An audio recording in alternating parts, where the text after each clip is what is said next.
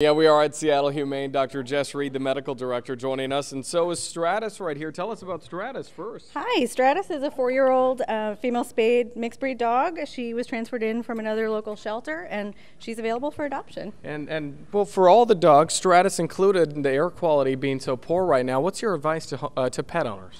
I would say stay inside, uh, keep windows closed, keep exercise brief, and um, make sure to keep a real close eye on your pet for any signs that they're having a hard time with air quality. So, what are some of the symptoms, some of the signs that they should be looking out for? Uh, things like um, coughing, sneezing, watery eyes, uh, sometimes actual difficulty breathing, other times maybe just a little bit lethargic or um, a little bit more quiet than usual. And are there any specific kind of breed that, that may have more problems in this type of condition?